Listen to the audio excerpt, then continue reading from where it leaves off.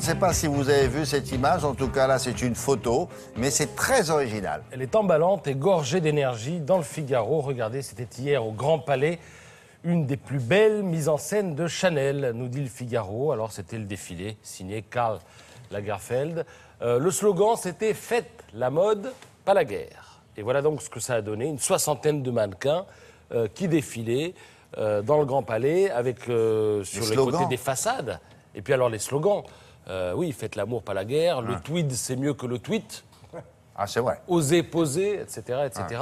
Et alors, non, mais là où il a du flair, c'est que le même jour, vous avez les pharmaciens, les dentistes, Dans la les rue. notaires, les avocats qui étaient dans la rue.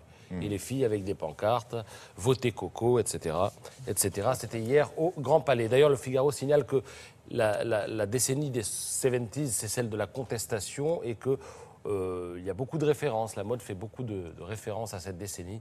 Euh, en ce moment, regardez ce que ça donne avec euh, Chanel, Alors, il faut- certes, mais aussi Yves Saint Laurent, Elissa, Briquet, etc., etc. Patrice, il faut, il faut rappeler que quand on, quand on dit chez Chanel, votez Coco, c'est Chanel. Oui.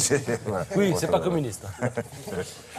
Alors, une citation maintenant, puisée dans le Parisien ce matin, je vous la donne tout de suite. Je pars les coups au mieux, au lieu de gouverner.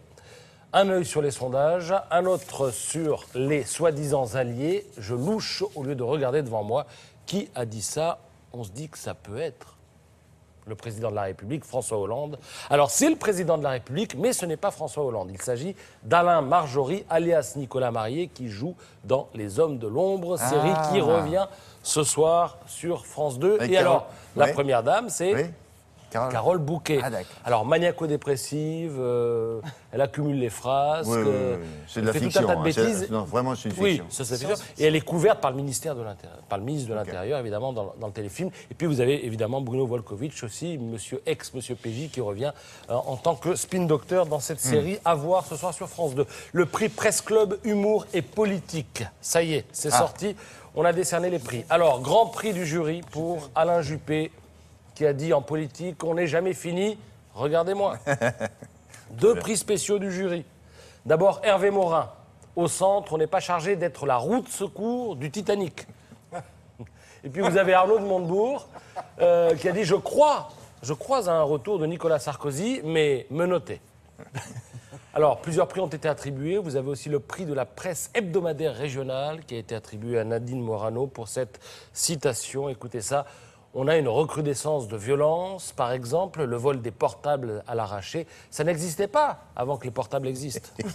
Ah, moi, j'aurais donné un grand prix, là, quand Alors, même. vous savez, cette année, ils ont créé aussi le prix du tweet illustré. C'est-à-dire Ah. vous tweetez et vous mettez une petite photo avec. Alors. Alors, là, on voit François Hollande qui serre la main Ah oui, de oui. Ah Ouais, un des militaires. Et vous avez.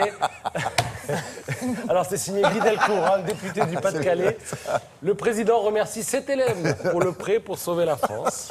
C'est bien, bravo. Et puis, hommage à notre confrère Pierre de Cossette d'Europe 1 qui a obtenu le prix du tweet médiatique. À ce rythme, Hollande sera sous les 3% avant le déficit.